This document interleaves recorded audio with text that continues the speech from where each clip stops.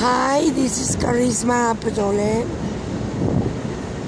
I'm trying to see here if I find Nibiru, which I just took a photo and I did.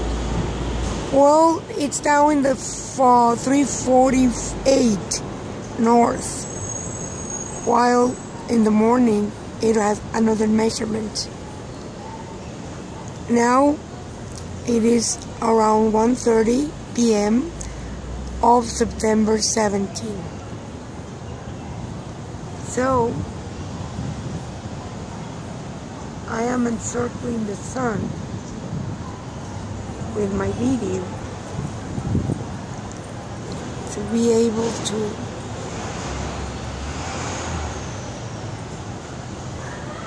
get Nibiru. He has been working with um, balloons, the blue balloon like a parachute.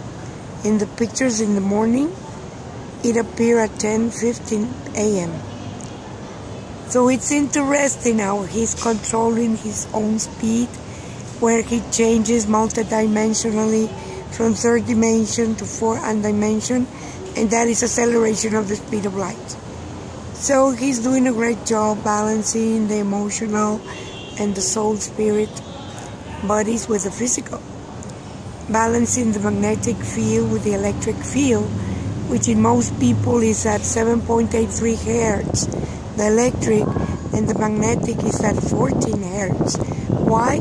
Because the magnetic field that is structured up by the double movement of rotation and translation of planet Earth, it is on 14 hertz. So the magnetic field of the planet pulls up the atomic magnetic field of everybody, of each inhabitant in planet Earth.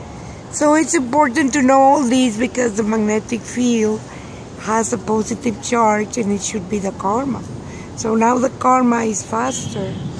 And where you find the photons as a subparticle in your fluid nervous inside your body to speak to your DNA, it's in the light of the sun as a particle. When it's outside, it's a forcing movement like now.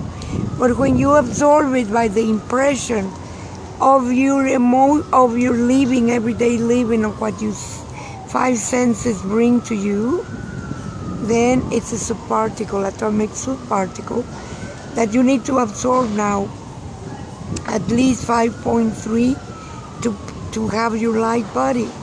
But in order to be in the planet, you need from 7 to 12 photons, which is the third level of consciousness, Christ consciousness, or as I call it, the galactic consciousness, because it's a scientific way to demonstrate that we are holding the pi ratio, which is the magnetic field when it moves. It builds a structure up a pi ratio a spiral, which is the logarithm asymmetric spiral. Well, this is all for today, folks. I cannot see the sun.